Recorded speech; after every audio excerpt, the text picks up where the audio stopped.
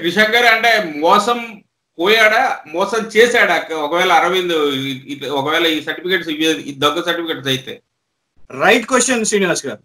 శ్రీనివాస్ గారు మీరైనా నేనైనా ప్రతి సామాన్యులైనా ఏదైనా విశ్వ ఏదైనా విద్యా సంస్థలో స్కూలు నుంచి కాలేజ్ వరకు మనము చదవాలనుకున్నా రేపు మన పిల్లల్ని చదవాలనుకున్నా మన తల్లిదండ్రులు మనం చదివియాలనుకున్నా కూడా చాలా ఆలోచిస్తారు ఏ విద్యా సంస్థలో చదివియాలి ఫీజు ఎంత ఉంటది టీచర్లు మంచిగా ఉంటారా లేదా?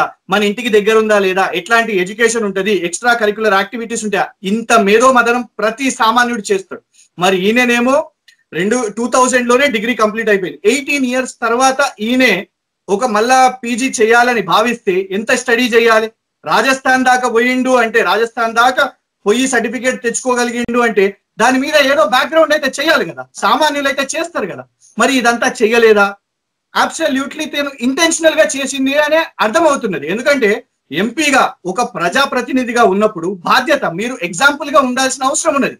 ఒక ప్రజాప్రతినిధి లోక్సభలో ఎన్నికైన వ్యక్తే తను బాధ్యత లేకుండా ఇట్లాంటి దొంగ సర్టిఫికెట్లు దొంగ యూనివర్సిటీలు దొంగ ఇన్స్టిట్యూషన్స్ నుంచి తెచ్చుకుంటే వారిలో అంటే ఇది ఖచ్చితంగా ఒక క్రిమినల్ ఇంటెన్షన్ అని అయితే ఖచ్చితంగా భావిస్తున్నాం మేము. అంటే అయ్యో నాకు తెలియదు నాకు ఇంత అవగాహన లేదంటే అట్లాంటి అవగాహన లేని వ్యక్తి ప్రజాప్రతినిధిగా ఉండే క్వాలిటీ తనలో ఉందా అని. ఎందుకంటే పసుపు బోర్డు విషయం మీద చూసినాం తప్పుడు హామీలు తప్పుడు అఫిడవిట్లు.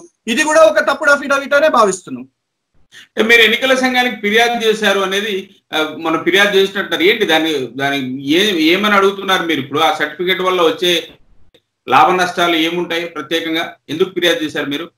శ్రీనివాస్ గారు ఎస్ ఇప్పుడు విద్యకు ఎలక్షన్స్లో నిలబడడానికి దానికి రెండింటికి సంబంధం లేదు.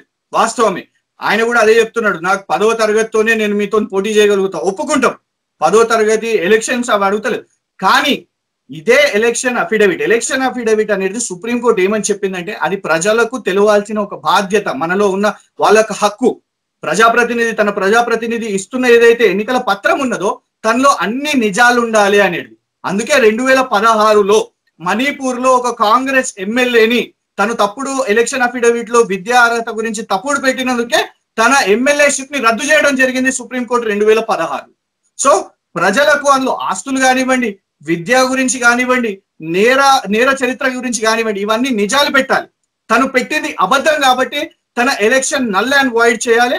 అంతేకాకుండా ఒక ఫ్రాడులెంట్ సర్టిఫికేట్ తెచ్చుకున్నాడు దాని గురించి పెట్టిండు కాబట్టి మేము కేవలం తన ఎలక్షన్ డిస్క్వాలిఫికేషన్ కాదు తన మీద క్రిమినల్ చర్యలు కూడా తీసుకోవాలి క్రిమినల్ ప్రొసీడింగ్స్ కూడా చేయాలని మేము అందులో మెన్షన్ చేయడం జరిగింది. రేపు ఏదైనా టెక్నికల్గా మీరు చెప్తున్న పాయింట్స్ వచ్చినప్పుడు నేను మోసపోయానని ఆయన నెమ్మదిగా పక్క తప్పుకునే అవకాశం కూడా ఉంటది కదా? చూడండి మేమైతే ఒకటండి. నిజంగా కూడా నేను పర్సనల్గా అర- అరవింద్ గారి మీద ఒకవేళ వెండేటానే పెట్టుకోవాలనుకుంటే చాలా మంది ఈ రోజు ఏమని ప్రశ్నిస్తున్నారు అంటే అసలు అరవింద్ గారి డిగ్రీ మీద కూడా ఒక అనుమానం వస్తున్నది అని. ఎందుకంటే డిగ్రీ ఎక్కడ చేసిండు ఏంది అనేది స్పష్టత లేదు. అది కూడా తను ఒక ఇంటర్వ్యూలో ప్రైవేట్గా చేసిన అని చెప్పిండు. నిజంగానే ఒకవేళ వ్యక్తిగతంగా తన మీద ఏదో కక్ష చేయాలనుకుంటే ఆ డిగ్రీని కూడా ప్రశ్నిస్తాం. కాదు. ఇక్కడ ఒక ప్రజాప్రతినిధి ఆ ఎలక్షన్ అఫిడవిట్లో తప్పుడు సమాచారం ఇచ్చిండు కాబట్టి ఈ రోజు ఒక ఒక విద్యార్థిగా నేను కూడా పిహెచ్డి చేస్తున్నాను ఒక ఉస్మానియా యూనివర్సిటీలో లా. చదివినాను జర్నలిజం చేసినాను. సో ఈ రోజు మేమందరం ఎంట్రన్స్ ఎగ్జామ్లు రాసి కష్టపడి విశ్వవిద్యాలయాల్లో చదువుతుంటాం. ఇట్లా వీళ్ళు కొనుక్కొని ఈజీగా సర్టిఫికెట్ తీసుకొని ఇవి పేపర్లలో ఆర్టికల్స్ ఉన్నాయి శ్రీనివాస్ గారు. ఫలానా ఫలానా వ్యక్తి ఎంఏ చదివిండు ఎంఏ పొలిటికల్ సైన్స్ చేసిండు అని ఆర్టికల్స్లో వేయించుకొని ప్రజలలో ఒక ఇన్ఫ్లుయెన్స్ని క్రియేట్ చేస్తారు. అరే ఓట్లు తెచ్చుకోవడానికి అరే ఇంత చదువుకున్నాడా మా నాయకుడు అని. ఆ ఆ తప్పుడు దోవ పట్టొద్దు అనే ఈ రోజు మేము ఈ ఫైట్ చేస్తున్నాము. తను మోసపోయిండు అని చెప్పేయడానికి మేము ఒకటే కోర్టులో చెప్తున్నాం. తను ఇంటెన్షనల్ ఎందుకంటే అరవింద్ గారు ఇప్పుడు ఏదైతే డిఫెండ్ చేసుకుంటుండో అక్కడనే తను తప్పు పడిపోతున్నాడు. తను ఇచ్చిన రిజల్ట్ ద్వారానే తన వెబ్సైట్ గురించి తెలిసింది. తను ఇచ్చిన మొత్తం రిజల్ట్ తనే మాకు ఇన్ఫర్మేషన్ ఇస్తున్నాడు శ్రీనివాసరావు గారు. తను ఆ ఫేక్ వెబ్సైట్ని ఇంకా డిఫెండ్ చేసుకుంటున్నాడు కాబట్టి తను ఇంకా దాన్ని సపోర్ట్ చేస్తున్నాడు కాబట్టి తన ఫేక్ సర్టిఫికెట్ని తను జస్టిఫై చేసుకుంటుండు. తను దాన్ని ఒప్పుకుంటున్నాడు. అక్కడనే తను నేరం చేస్తున్నట్టు అవుతుంది.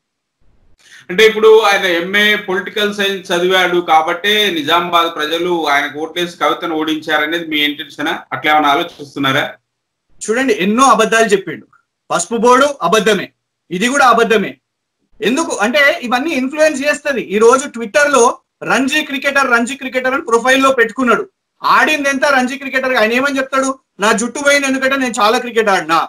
నేను విద్యను వదిలేసిన ఎందుకంటే ఆయన చెప్పిన ఇంటర్వ్యూలలో ఇవన్నీ ఉన్నాయి. నేను విద్యను ఎందుకు ఆపేసినానంటే నేను క్రికెట్ ఆడుతుండే కాబట్టి. అయ్యా నువ్వు ఆడింది కేవలం నైన్టీన్ నైన్టీ ఫైవ్లో మాత్రమే. దాని తర్వాత నువ్వు కంప్లీట్ చేసింది టూ థౌజండ్లో అని చెప్పుకుంటున్నావు డిగ్రీ బిఏ ఎందుకంటే నైన్టీన్ నైన్టీ ఫైవ్లో అందరు తెలియాల్సిన అవసరం ఉన్నది ఈయన ఆడిన రంజీ ట్రాఫీ కెరియర్ కేవలం ఒకటే మ్యాచ్ ఒకటే మ్యాచ్లో ముప్పై రెండు రన్లు కొట్టిండు. తర్వాత ఇది test match one day match Ranji ట్రాఫీలో ఒకటే మ్యాచ్ ఆడిండు. నైన్టీన్ నైన్టీ ఫైవ్లో ఒక్కొక్క మ్యాచ్ ఆడి దాని తర్వాత ఈయన క్రికెట్ కెరియర్ ఖతమైపోయింది. కానీ దాన్ని ఈ రోజు నేను ఒక క్రికెటర్ అని ఇవన్నీ ఆర్టికల్స్ ఉన్నాయి. సో ఈ రోజు నిజామాబాద్ ప్రజలను మోసపూరితంగా తను ఒక క్రికెటరు పసుపు బోర్డు హామీ ఇచ్చిండు చాలా మేధావి. ఎందుకంటే ఇవాళ దేశానికి అంతా అందరి నాయకుల గురించి ఇష్టం వచ్చినట్టు మాట్లాడతాడు కదా. ఒక దొంగ అఫిడవిట్ పెట్టుకొని దొంగ చదువు గురించి ఈరోజు చెప్పుకొని ఆయన నీతుల గురించి మాట్లాడితే అది కరెక్ట్ కాదు కదా. So there are many factors election affidavit అనేది అది ఒక వ్యక్తి ప్రణాళిక. అది ఒక వ్యక్తి అద్దం పట్టే తన క్వాలిఫికేషన్ ఏంటిదో అనేది ఉంటది. అందుకే సుప్రీం కోర్టు ఆ ఎలక్షన్ అఫిడవిట్కి ఆ పవర్ ఇచ్చింది. ఓటర్కి ఆ పవర్ ఇచ్చింది. సో ఖచ్చితంగా అదొక ఇన్ఫ్లుయెన్స్ ఫ్యాక్టర్గా ఉంటుంది శ్రీనివాసరావు గారు. కిషన్ కృష్ణ గారు ఆయన నిన్న మొన్న ఒక మీడియాతో మాట్లాడుతూ ఆ మీడియా వాళ్ళకు ఒక్కొక్క పేపర్ తీసి సర్టిఫికెట్స్ అన్ని చూపించారు. నేను అందరికీ చూపిస్తాను జర్నలిస్టులకు చూపిస్తాను మిగతా పార్టీల వాళ్ళకి చూపిస్తాను ఎవరు వచ్చినా చూపిస్తాను. కానీ టిఆర్ఎస్ వాళ్ళకి చూపించను.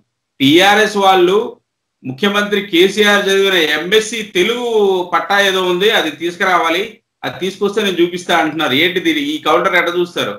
శ్రీనివాసరావు గారు చూడండి ఒకటి. నేను ఎప్పుడు కూడా జలీల్ ఖాన్ గారిని అటాక్ చేయలేదు. మిగతా లీడర్స్ ఎవరిని అనలేదు. ఈవెన్ కేసీఆర్ గారి విషయం కూడా. చూడండి రేపు అరవై అరవై ఐదు సంవత్సరాలు అయిన తర్వాత మనం ఇప్పుడు నేను లా చదివినాను శ్రీనివాసరావు గారు. నా లాలో ఇరవై ఎనిమిది సబ్జెక్టులు ఉంటాయి. సడన్గా ప్రశ్నిస్తే మనం ఆ ఇరవై ఎనిమిది సబ్జెక్టుల లిస్టు చెప్పలేము ఎవరు కూడా చెప్పలేరు కానీ దాన్ని అఫిడేవిట్లో పొందుపరిచిర్రా? వారు చెప్పింది ఒక బ్లూపర్ బ్లూపర్కి అంటే tongue of slip of tongue అని అంటారు దాన్ని. ఏదో చెప్పారు. కరెక్టే కానీ it is not a crime Arvind గారు తను చేసిన నేరాన్ని ఒక ఒక స్లిప్ ఆఫ్ టంగ్తో కంపేర్ చేస్తున్నాడు. అదేమన్నా అఫిడవిట్లో పెట్టిర్రా? పెట్టిరంటే మీరు కోర్టుకి వెళ్ళండి సిద్ధంగా ఉన్నాం. కాదు. ఒక స్లిప్ ఆఫ్ టంగ్ని ఒక దాన్ని జోక్గా చేస్తున్నాడు. కానీ ఈయన చేసింది ఒక క్రిమినల్ యాక్ట్ ఇది ఖచ్చితంగా చట్టబద్ధంగా. మేము ఏమంటున్నాము? నువ్వు మాకు చూపెట్టక అవసరం లేదు. నీ సర్టిఫికేట్ నేను డిమాండ్ చేస్తూనే లేను. నువ్వు బయట పెడుతున్నావు. నువ్వు రోజు రోజుకి ఎక్స్ప్లెనేషన్ ఇచ్చుకుంటూ నీ దొంగ వెబ్సైట్ల గురించి దొంగ సర్టిఫికేట్లు ఇవన్నీ చూపెట్టుకుంటున్నాం. మేము ఇవన్నీ కూడా కోర్టుకి చూపెట్టు అనే పోతే మేము డిమాండ్ చేస్తున్నాం. ఇవన్నీ ఎలక్షన్ కమిషన్ దాని తర్వాత కోర్టు న్యాయస్థానానికి చూపెట్టే విధంగా ఆ యూనివర్సిటీ కానివ్వండి తనని కానివ్వండి తను చదివిన ప్రక్రియ లేకుంటే కొనుక్కున్న ప్రక్రియ ఇవన్నీ లాగే వైపు మేము చేస్తున్నాం. కానీ మేము ఆయన సర్టిఫికేట్లు ఎవరికి చూపెడతాడా? అందరికీ చూపెడతాడా? అందులో కూడా జర్నలిస్టులను చాలా సెలెక్టివ్గా అంటున్నాడు. కొన్ని మీడియా సంస్థలకే మంచి జర్నలిస్టు అని చెప్పడం జరిగింది. సో ఒకటే చెప్తున్నాం. ఇవన్నీ మాకు అవసరం లేదు. రేపు చట్టబద్ధంగా కోర్టు ఏదైతే న్యాయస్థానాలు ఉన్నాయో వాటికి చూపెట్టే విధంగా అక్కడనే ట్రయల్ చేద్దాము అని మేము అడుగుతున్నాం. అంటే నేను ప్రజా సమస్యల గురించి మాట్లాడుతున్నాను లేకపోతే అవినీతి గురించి మాట్లాడుతున్నాను. దాని గురించి సమాధానం చెప్పకుండా నా సర్టిఫికేట్ గురించి వీళ్ళు అడావుడి చేస్తున్నారు అనేది వాళ్ళ వాదన. నిజంగా కూడా ప్రజలు ఆలోచిస్తే సర్టిఫికేట్ అనేది చిన్న సమస్య ప్రజా సమస్యలు అనేవి పెద్ద ప్రాబ్లంగా కనపడే అవకాశం ఉంది కదా కిషన్ గారు. మీ వాదన నిలబడుతుందా ప్రజల్లో? శ్రీనివాస్ గారు నేను నాలుగు నెలల నుంచి ఇష్యూని కొట్లాడుతున్నా. నిన్న మొన్న కాదు. నేను పర్సనల్గా కూడా రాజస్థాన్కి పోయి ఉదయపూర్లో ఈ విశ్వవిద్యాలయం ఈ విద్యా సంస్థ ఏంటిది దీని కథ ఏంటిది ఎందుకు ఇంత ఆరోపణలు ఉన్నాయి ఎన్ని పోలీస్ కేసులు ఉన్నాయని నేను పర్సనల్గా జనవరి నుంచి దీని మీద స్టడీ చేస్తున్నాను ఎందుకంటే తను ఇష్టం వచ్చినట్టు మాట్లాడుతున్నాడు. కార్యకర్తలను ఇష్టం వచ్చినట్టు పింకీలు అని అంటాడు ఇట్లాంటి మాటలు మాట్లాడతాడు. ముఖ్యమంత్రి గారి గురించి మాట్లాడతాడు. హుందాగా బిహేవ్ చేయడానికి తెలియదు తనకు. సో ఇవన్నీ మాట్లాడుతున్న సమయంలో రాజకీయంగా మేము కూడా తనని ఎదుర్కోవడానికి ఆలోచిస్తాం. అయితే ఈయన ప్రజా సమస్య అని అంటున్నాడు. కాదు ఈయన కూడా పర్సనల్గా ఎంతో మందిని మాట్లాడి ఇష్టం వచ్చినట్టు దూషించి క్రియేట్ చేసి లేని ఒక ఫేక్ ప్రూపగాండాని క్రియేట్ చేసే కదా ఈ రోజు ఎన్నికలు గెలిచారు కవిత గారు గౌరవనీయులు ఎంపీగా ఉన్నప్పుడు ఎన్నో సార్లు పసుపు బోర్డు గురించి పార్లమెంట్లో మాట్లాడి ఈయన కూడా మాట్లాడతలేడు. ఈయనే అంబాసిడర్ కావాలి కారు కావాలి రైతులకు అని అంటే నేను బెంజున్ తీసుకొని వచ్చినాను ఈ రోజు పప్పన్నం లేక పాపం లేని రైతు అక్కడ ఇబ్బంది ఉంటే నేను బిర్యానీ తినిపిస్తానంటే వాళ్ళ వాళ్ళు బిర్యానీ తినేటోళ్ళు కాకపోతే కేవలం నాకు పప్పన్నమే తింటా మేము మాంసం తినేటోళ్ళం కాదంటే మేము మాంసం తీసుకొని వచ్చి నువ్వు తినాలి తినాలంటే కాదు కదా. ఈ రోజు అంబాసిడర్ కార్ కావాలని వాళ్ళు అడుగుతున్నారు నువ్వు బెంజును తీసుకొని వస్తా అంటే ఆ బెంజులో డీజిల్ పెట్రోల్ ఎవరు పోయాలి? పసుపు బోర్డు స్పష్టంగా కూడా అడిగారు. ఆ పసుపు బోర్డు విషయం మీదే నువ్వు తప్పుడు వాగ్దానాలు ఇచ్చి కవిత గారిని అక్కడ ఒక అక్కడ ఒక నెగిటివ్ క్రియేట్ చేసినావు. ఆ అబద్ధాలు చెప్పినవు. అది కాదా ప్రజా సమస్య? అంటే దీంతో నీ వ్యక్తిత్వం బయటపడుతుంది. నువ్వు ఎలక్షన్ అఫిడవిట్లను ఎన్నిక ఎన్నికల సంస్థలను ప్రజలనే మోసం చేయగలిగినోను అయితే ప్రజా సమస్యల మీద నీకు చిత్తశుద్ధి ఎక్కడ ఉంటది ఒక నువ్వు నీ నీ క్యారెక్టర్ నువ్వు తప్పుడు సర్టిఫికేట్ని తెచ్చుకొని ఎన్నికల్లో గెలిచినోనివి రేపు ఇంకెక్కడ న్యాయం? ఇప్పటికైతే ఇప్పటి వరకు ఏం చేయలేదు కదా ఈ సంవత్సరము. రానున్న రోజుల్లో కూడా నువ్వు ఏం చేస్తావు అనేది నైతిక హక్కు అయితే ఎట్లా కోల్పోయినావు? అర్హత కోల్పోయినావు.